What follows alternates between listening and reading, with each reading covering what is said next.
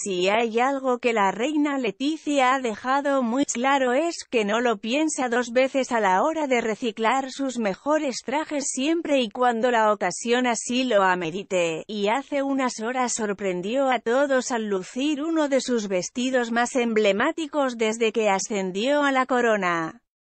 La consorte estuvo presente junto a su marido en la inauguración del Hospital Universitario de Toledo, desde donde deslumbró a todos los presentes con su pieza de moda que fue creado por su diseñador favorito, Felipe Varela.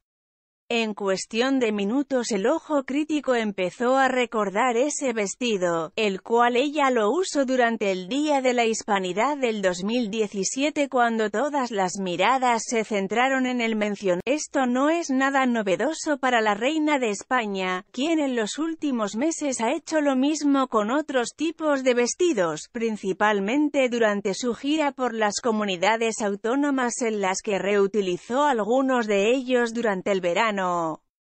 es muy claro que para ella es muy difícil desprenderse de un diseño de Felipe Varela, uno de los diseñadores de mayor prestigio en todo el mundo.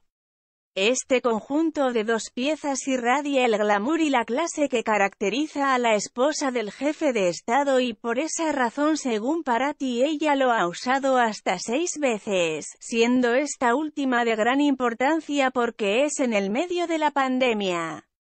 Ante esta situación se ha especulado con que se tomaría una pausa y muy posiblemente instaurara un nuevo confinamiento desde Zarzuela. Sin embargo, tanto la reina Leticia como el rey de España no han parado con sus funciones. Su armario estaría lleno de vestidos y trajes de los mejores creadores del mercado, y lo mejor que se le puede ocurrir